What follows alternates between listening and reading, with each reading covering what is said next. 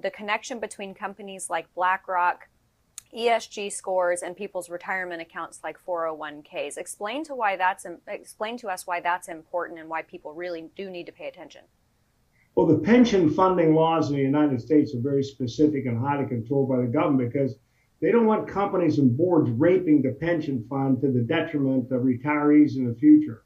So that funding policy is very, very carefully constructed. When I was on the board of directors Snap-on Tools, Nick Pinchuk was vigilant in making sure we followed the rules and regulations perfectly because we had a fiduciary duty to the retirees to protect their future.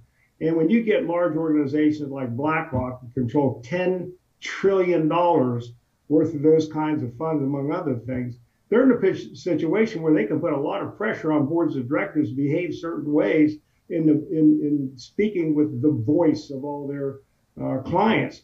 I don't think that's good. I think the individual in those funds should be able to vote their own shares of stock and have their own voice.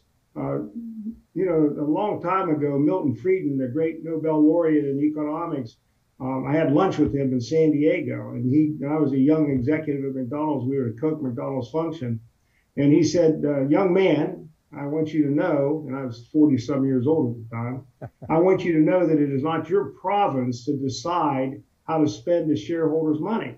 You make a good profit, you give that profit to them. They then in turn can pick and choose what they want to give their money to if they want to at all. They get to pick their charities, their their social activity. That's not your duty. So your duty is to make profit and let them spend the money wisely. And I really subscribe to that because that's actually, in fact, true. If a board of directors, let's take Disney as the example, they decide that they're going to get into CRT and wokeism and all the rest of those buzzwords of today, and it has a detrimental effect on the company, it has a detrimental effect on the investors, and it has an effect on the retirees because all of a sudden they could outlive their retirement funds. And I have friends yeah. right now that are school teachers are telling me they're scared to death they're going to outlive their retirement funds because the funds have been mismanaged.